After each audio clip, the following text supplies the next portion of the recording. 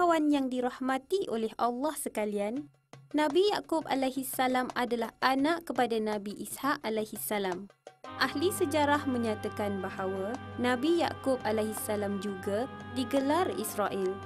Isra membawa erti hamba, manakala Il bermaksud Allah. Jadi, Israel bermakna hamba Allah. Bani Israel adalah dari keturunan baginda. Menurut riwayat, Nabi Yakub alaihi salam dilahirkan di Kanaan yang sekarang dikenali sebagai Palestin. Kami sampaikan berita gembira tentang kelahiran Ishak dan sesudahnya lahir pula Yaakub. Surah Hud ayat 71. Ini bermakna semasa Nabi Yakub alaihi salam dilahirkan, datuknya iaitu Nabi Ibrahim alaihi salam masih lagi hidup. Kawan-kawan sekalian, menurut riwayat, ketika Nabi Ishak alaihi salam mencapai usia yang lanjut, penglihatannya menjadi semakin berkurangan. Pada kebiasaannya, Nabi Ishak alaihi salam lebih senang meminta kepada Al-Ish untuk menghidangkan makanan kepadanya dan mendoakan kesejahteraan Al-Ish serta keturunannya.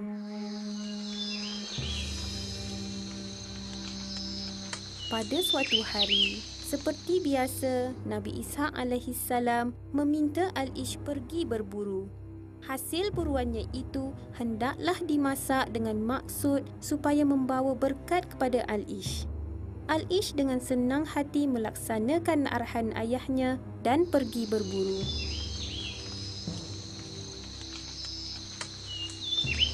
Oleh kerana pada ketika itu, penglihatan Nabi Ishak alaihi salam berkurangan, maka baginda tidak menyedari bahawa yang memberi makanan itu adalah Nabi Yakub alaihi salam dan bukannya Al-Ish. Setelah Nabi Ishak alaihi salam menikmati hidangan itu, baginda mendoakan kesejahteraan anak dan keturunannya seperti yang sering Nabi Ishak alaihi salam lakukan terhadap Al-Ish. Setelah Nabi Yakub alaihi salam keluar dari bilik ayahnya, datanglah Al-Ish membawa pesanan hidangan yang diminta oleh ayahnya tadi. Betapa terkejut dan kecewanya Al-Ish setelah mengetahui adiknya Nabi Yakub alaihi salam telah mendahuluinya. Dia sangat marah dengan tindakan adiknya itu. Ish. Kenapa engkau yang mendahului aku, wahai aku? Kawan-kawan sekalian, Walaupun Nabi alaihi salam telah mendoakan kesejahteraan Al-Ish serta keturunannya, dia masih lagi tidak puas hati dengan adiknya Nabi Yakub alaihi salam. Menyedari ancaman yang diberikan oleh Al-Ish terhadap Nabi Yakub alaihi salam, ibunya telah meminta Nabi Yakub alaihi salam pergi ke rumah bapa saudaranya Laban di wilayah Hiron ibunya meminta baginda berbuat demikian supaya tidak berlaku pergaduhan yang lebih besar di antara baginda dengan abangnya Al-Ish. Hei Yaakob, keluar kau dari situ. Sungguh berani kau mendahului aku ya Yaakob. Pemergian Nabi Yaakob alaihi salam telah mendapat izin daripada ayahnya terlebih dahulu. Ayahnya juga memerintahkan baginda berkahwin dengan anak kepada bapa saudaranya itu. Walau bagaimanapun, adat di tempat bapa saudaranya itu tidak menjadi kebiasaan menikahkan anak yang bungsu terlebih dahulu daripada anak yang sulung.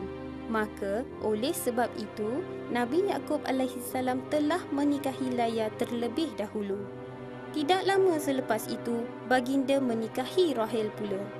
Pada ketika itu, dibolehkan dua orang perempuan sekandung berkahwin dengan seorang lelaki. Allah Maha Adil kawan-kawan. Walaupun Laya tidak secantik adiknya Rahel, Allah telah menggantikan kelemahannya itu dengan membolehkan Laya melahirkan anak yang ramai.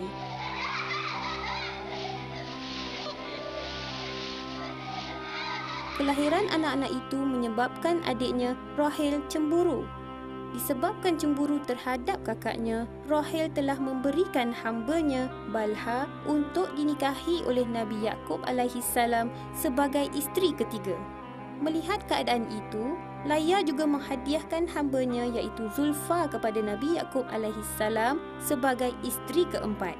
daripada hasil perkahwinan Nabi Yakub alaihi salam dengan keempat-empat isterinya, baginda telah memperolehi 12 orang cahaya mata. Di antara anak-anaknya, baginda lebih memberi perhatian dan kasih sayang kepada Nabi Yusuf alaihi salam dan Bunyamin iaitu anak kepada Rahel.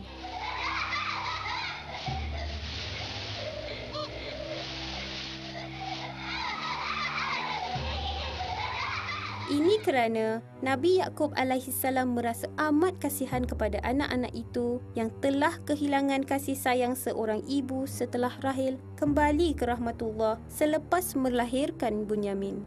Kawan-kawan sekalian, sebelum Nabi Yakub alaihi salam wafat, baginda telah menghadapi suatu peristiwa yang berat berkaitan dengan anaknya iaitu Nabi Yusuf alaihi salam yang diutuskan kepada penduduk Mesir.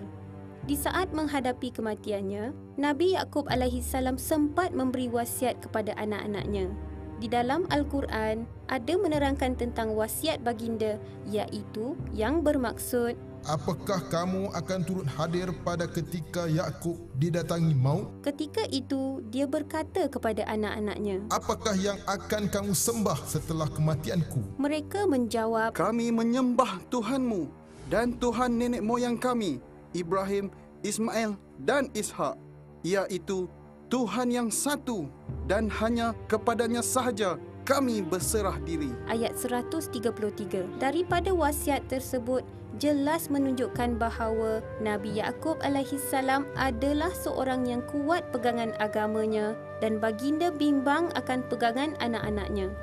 Oleh sebab itulah baginda mewasiatkan anak-anaknya agar beriman hanya pada satu-satunya Tuhan iaitu Allah dan tidak pada yang lain.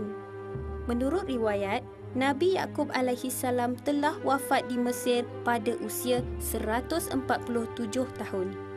Walaupun baginda wafat di Mesir, tetapi baginda disemadikan di negeri Syam iaitu di samping dengan makam ayahnya Nabi alaihi salam dan datuknya Nabi Ibrahim salam. Untuk pengetahuan kawan-kawan, setiap putera Nabi alaihi salam telah menjadi ketua suku dari suku-suku bangsa Israel.